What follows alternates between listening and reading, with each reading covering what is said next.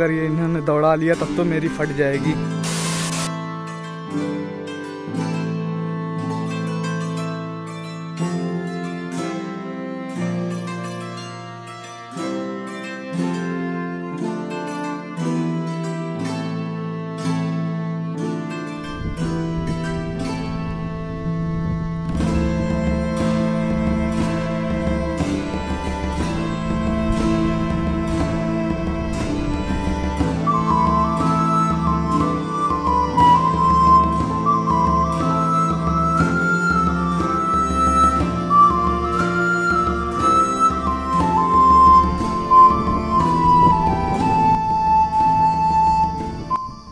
Good afternoon friends welcome back to my YouTube channel Adarsh vlog अभी शाम के साढ़े चार बज रहे हैं और जो पिछली वीडियोस में हमने बेहन डाला था खेत में, वो अब इतने बड़े बड़े हो गए हैं और उसमें पानी लगाने का समय हो गया था तो हमने खेत में पानी लगा दिया है। ये देख लीजिए, खेत में आपको हरा हरा छोटा छोटा पेड़ दिख रहा होगा। ये हमारा जो है बेहन तैयार होने वाला है कुछ दिन। वो वाला पार्ट जो है पूरा हो चुका है इसमें और इसमें पानी आना बाकी है। हम हर रोज यहाँ सुबह सुबह आते हैं और यहाँ पे एक घंटा काम करते हैं। इधर जो आपको दिख रहा है, खेत को सही करते हैं और यहाँ जो जंगली पेड़ उगे रहते हैं, उसको काट के इधर रख देते हैं। और ये खेत हमने पूरा बना रखा है।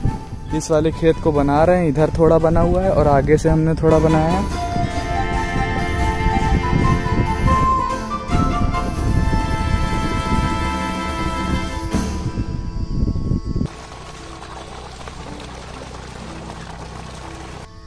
तीनों पार्ट में पानी पहुँच चुका है, अपना काम कंप्लीट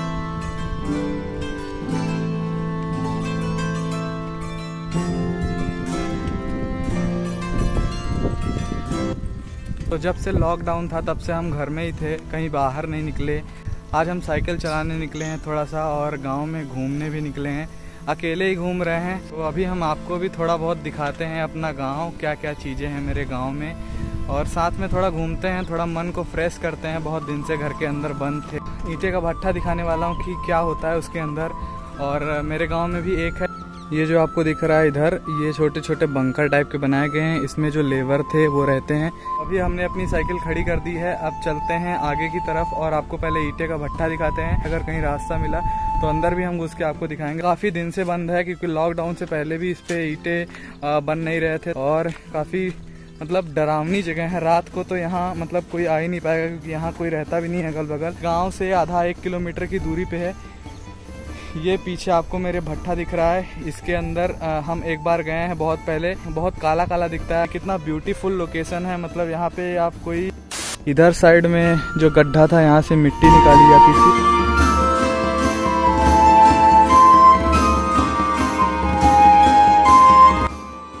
यहाँ एक रास्ता था यहाँ से होते हुए हम इसके अंदर से होते हुए यहाँ तक जाते थे फिर यहाँ से इसके अंदर घुसते थे इसके अंदर घुसने के बाद फिर वहाँ भी एक दरवाज़ा था अंदर उसके अंदर घुसने के बाद फिर मेन वहाँ पे जाते थे जहाँ वो गोल गोल होता है और फिर वहाँ से ऊपर देखते थे तो वहाँ ऊपर खाली खाली दिखता था। वहाँ तक है ये पूरा और इसके बगल में काफ़ी नील गाय खड़ी है तो मैं वहाँ जाना नहीं चाहता। सोच रहा था कि क्या दिखाऊँ आप लोगों को तो फिर मुझे याद आया कि हाँ ईटे का भट्ठा दिखाता हूँ क्योंकि बहुत लोग नहीं देखे होंगे।